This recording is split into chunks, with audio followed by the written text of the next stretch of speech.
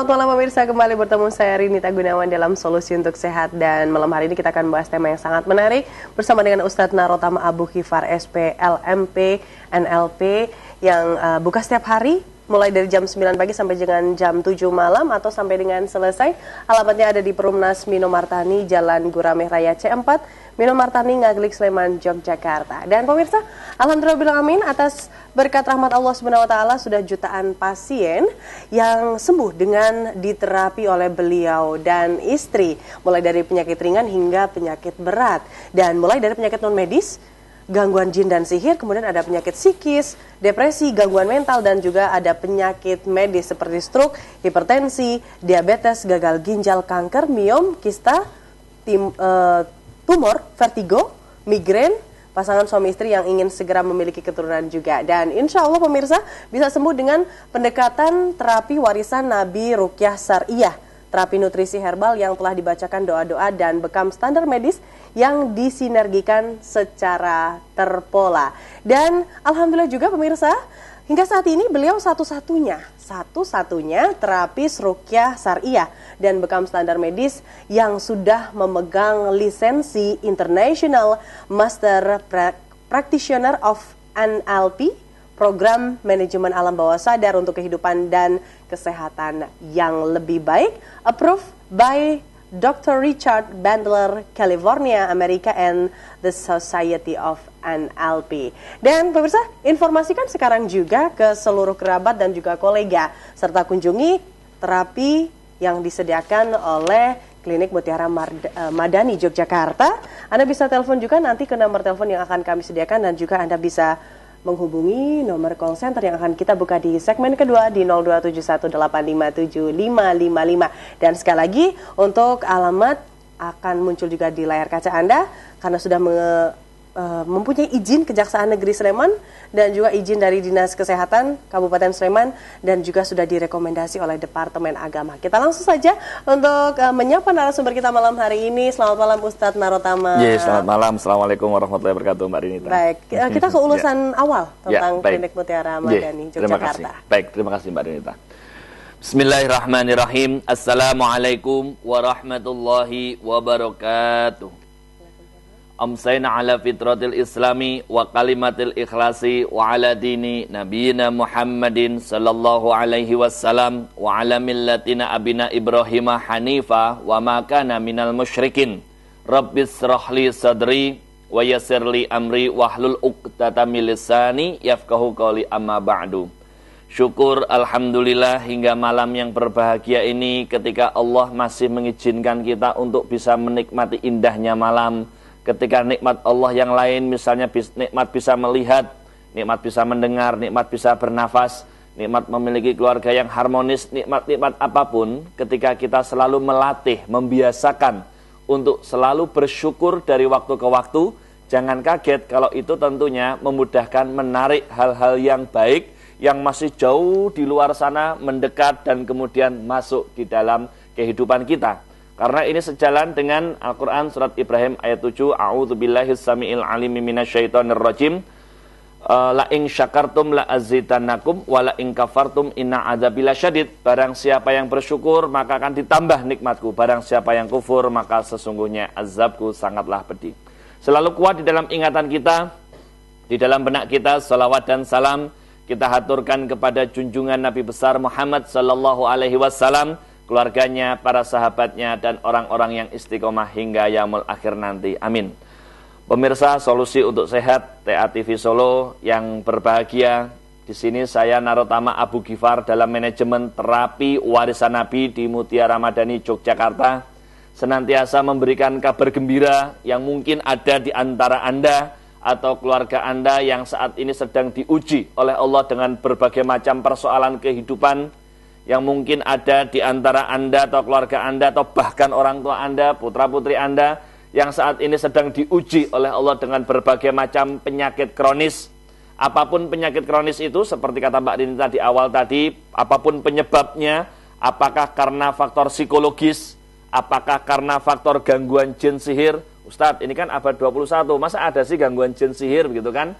Perlu kita pahami bersama bahwa sumpah iblis di hadapan Allah untuk mengganggu anak cucu Adam dengan berbagai macam modus operandi itu terjadi sampai hari kiamat. Jangan salah loh, bahwa ini merupakan bagian dari bagaimana kita menyempurnakan setiap e, keimanan kita untuk selalu betul-betul dalam keimanan yang e, luar biasa baiknya. Karena mengimani yang goib itu bagian dari keimanan kita kepada Allah Subhanahu wa taala atau penyakit yang memang betul-betul fisik medis, apakah karena faktor virus, kuman, bakteri atau kelemahan fungsi organ, misalnya lemahnya fungsi fungsi liver ketika tidak segera di maintenance, ketika tidak segera diterapi, maka itu akan mengakibatkan lemahnya fungsi organ yang lainnya, pun termasuk lemahnya fungsi ginjal ketika tidak segera diterapi dengan cepat dan tepat itu akan mengakibatkan kelemahan fungsi yang lainnya. Karena apa? Karena tubuh itu bersifat sistem. Antara satu hal dengan hal yang lainnya itu saling mempengaruhi baik mempengaruhi secara positif maupun mempengaruhi secara negatif. Negatif itu artinya kalau ada keluhan sakit atau lemahnya suatu fungsi itu bisa mengakibatkan lemahnya fungsi yang lainnya dengan berjalannya waktu. Apa pun nama penyakit kronis itu, apakah itu gagal ginjal, apakah itu jantung bocor, vertigo, migrain, stroke, kanker, tumor, diabetes, hipertensi, batu ginjal, batu empedu, miom, kista, keputihan, dan juga bagi Anda pasangan suami istri yang lama menikah yang ingin segera memiliki momongan insya Allah kehadiran terapi warisan Nabi Mutiara Madani di tengah-tengah masyarakat Jogja, Jawa Tengah dan sekitarnya merupakan kabar gembira bagi kita semuanya.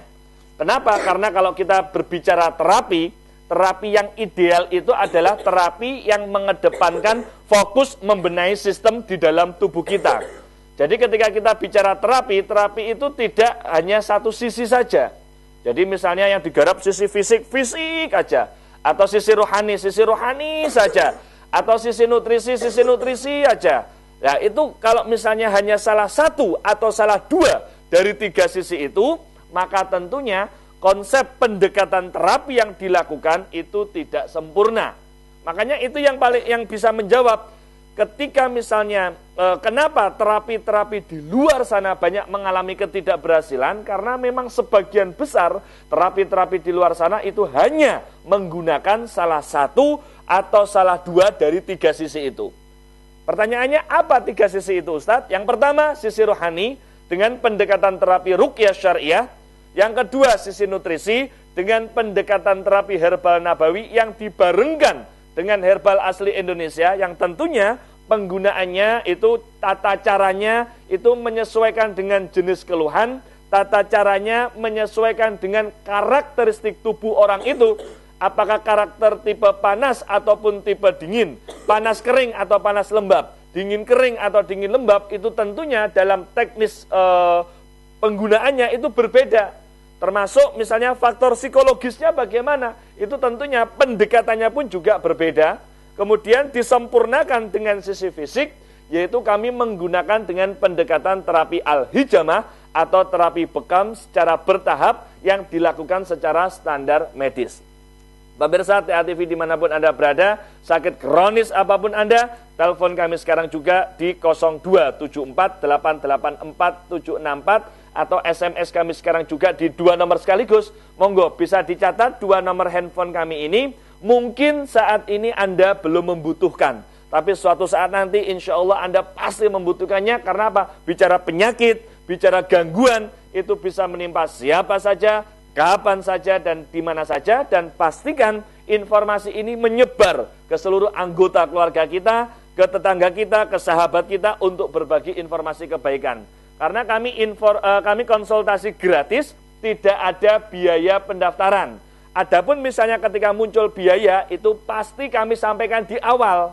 Nah, ketika nanti kami sampaikan di awal, apakah penjenengan mengambil keputusan terapi hari itu juga atau besoknya, monggo. Kami sangat menghormati, kami sangat menghargai hak setiap tamu pasien yang berkunjung ke tempat kami. Dan terapi kami bersifat universal. Apa pun latar belakang Anda, apa pun agama dan keyakinan Anda, kalau memang kesembuhan ini menjadi uh, hal yang sangat penting, bahwa sembuhnya saya ini penting untuk suami atau istri, sembuhnya saya ini penting untuk anak-anak, sembuhnya saya ini penting untuk keluarga, sembuhnya saya ini penting untuk masyarakat. Kalau kita sudah berpikir seperti itu, maka langkah-langkah untuk menuju terapi yang benar-benar tepat itu menjadi suatu kebutuhan yang sangat mendesak. Di situlah letak pentingnya kehadiran terapi warisan Nabi di Mutiara Madani, Yogyakarta. Hmm, baik, Ustaz Narotama. Sangat menarik pembahasan kita malam hari ini, pemirsa.